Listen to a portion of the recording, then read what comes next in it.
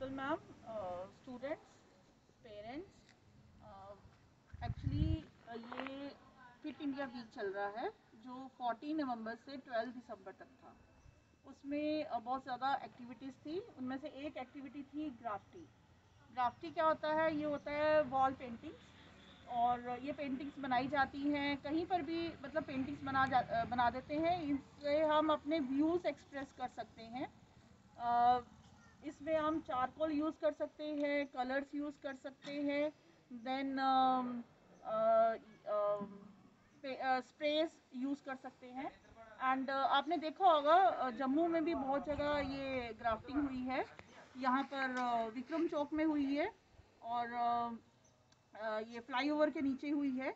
And जो विक्रम चौक में हुई है यूनिवर्सिटी से विक्रम चौक तक जो ग्राफ्टिंग हो रही है वो एक सरदारी लाल हैं। वो कर रहे हैं। श्रीनगर में भी ग्राफ्टिंग हो रही है। उसमें क्या है कि इंडियन जो कश्मीरी कल्चर है, उसको डिपिक्ट किया जा रहा है। जो जम्मू में हुई है, उसमें मोस्टली जो है वो पिक्चर्स हैं मैक्सिमम उसकी पिक्चर्स हैं, जो ये जम्मू के जो कल्चर है, उससे है।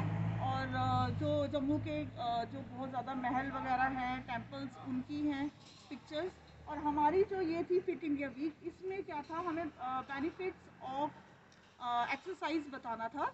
उसमें योगा, रनिंग, हम कैसे हेल्थी रह सकते हैं, उसके बारे में ग्राफ्टिंग करनी थी। तो ये हमारे जो ग्राफ्टिंग है, यहाँ पर दो बच्चे जो हैं, उन्होंने की है दानिश एंड ये दो गर्ल्स ने ये वाली पेंटिंग बनाई है नैन्सी एंड सिया इन्होंने पेंटिंग बनाई है एंड ग्राफ्टिंग जो थी, सबसे पहले स्टार्ट हुई थी वर्ल्ड वार सेकेंड के टाइम जहाँ पर लोगों ने लिखना स्टार्ट किया था, कहीं पे भी वॉल्स पे जाके, वहाँ पे उन्होंने क्या किया एक्चुअली उन्होंने वहाँ जाके जैसे आप दूसरे की कंट्री में जा रहे हो तो वो अपना एक सिंबल छोड़ के जाते थे कि लोगों को, जो बाकी लोग मतलब हमारे आर्मी वाले हैं या जो हमारे वार पर्सनल हैं, उनको पता लग जाए कि हमने ये एरिया कवर कर लिया है।